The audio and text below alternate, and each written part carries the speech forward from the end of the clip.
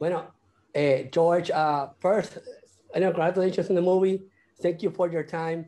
Really, really uh, awesome. I think at the same time, pretty heartfelt, heartfelt movie.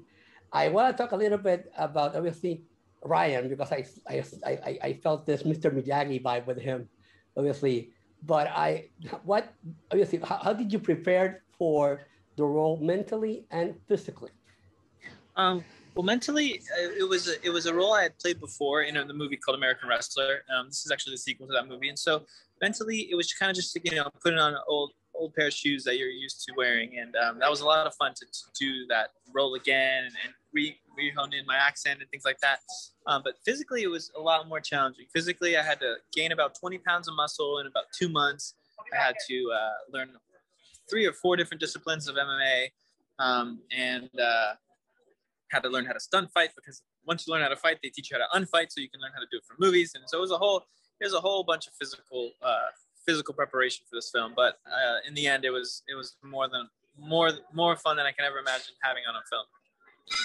Uh, Ali is struggling with two things. Obviously, he's struggling with obviously his mother not being there, having to provide for his mother, but he's struggling with with you know making it to making sure he does what he can to make it to you know to to to to be there for her. How how did you how much was it you how much was just following the script? How much what, what how did you balance that out? Um yeah. Um, a lot a lot of it was uh, you know based on a, a, a, true story of Ali Afshar and that's what the first film you know really really uh, walks through. And so him trying to make it came from Ali's true story and, and you know sort of being on his own and not really having a family around him to to show him the way. He had to find his own way. And um, that that true story element was kind of kind of what uh what took the character down that journey. And um, in this sequel we sort of follow ali on this next endeavor of, of instead of fighting for himself this time he's now fighting for someone else and it's his family and trying to save his mom um, I, I want to talk a little about Bryan Bryan Craig. You know, he played Brian. I, I absolutely loved him. I think he played such an uh, you know, that guidance that that meant you know that that somebody's beside you pushing you not to give up. But it, I felt so much like the Karate Kid. I felt like he was Mr. Miyagi for for Ali there. Hey, uh, don't worry, I want to help you out. How was how how I mean how did the chemistry between the two of you struck? Was was just you know just right there organic when the two of you just started working? Yeah, yeah, yeah. It really was organic with him. He and I actually are friends in real life, and so when I heard he was on the movie, we were both like, "Oh, we're gonna do great!" And it's like so our, our buddy buddy friendship sort of came across on screen, which was awesome. And um, throughout the film, he's kind of joking, you know, with this with the Star Wars joke and about Obi Wan Kenobi. And so it's kind of funny that he almost is my Obi Wan Kenobi in the movie. You're totally right. that's a good that's a good good call.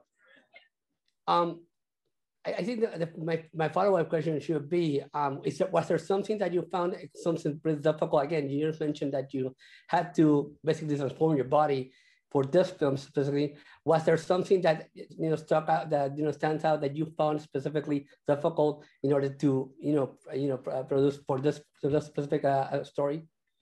Yeah, I think the, the the hardest part for this film, I think for the whole production team, was just getting the script right because you know the first one was was really like festival fan favorite and everyone loved it and it connected with a lot of people's true stories. So we didn't want to make a sequel that sort of mocked the true story of it all. And so honing in the script and the writers that worked on the script, you know, getting it to feel like a natural continuation and, and not and not like a you know a whole uh, a detour from the, the, the heart of the story and keeping the Ali's journey about his mom and, and saving his family and fighting for his family. We felt kept the heart from the first one to the second one. So that was probably the biggest struggle, but I think they did a great job. Um, uh, final question, I think we should be uh, again, what, what would you expect people to to get at least an action-packed movie, in my opinion, it's an action action-packed movie. Or again, like I mentioned, it has a lot of heart. So, what would what would you what do you want, or would you expect people to get out of it, or or, or react to it? Yeah, I think the best way to describe it is it's a movie that'll make you laugh and it'll make you cry and it'll make you feel like you can do anything in the world. It, it's it's it's all it's all of it in one, and it's a great you know roller coaster. And and I think everyone who goes and sees it May 21st in theaters and on demand will love it. Thank you, George. Thank you for your time. Thank you for the interview. Thank you. And again, congratulations on the role and on the movie. that was really, really, really cool. I, I really loved that. Honestly. Thank you so much, Raphael.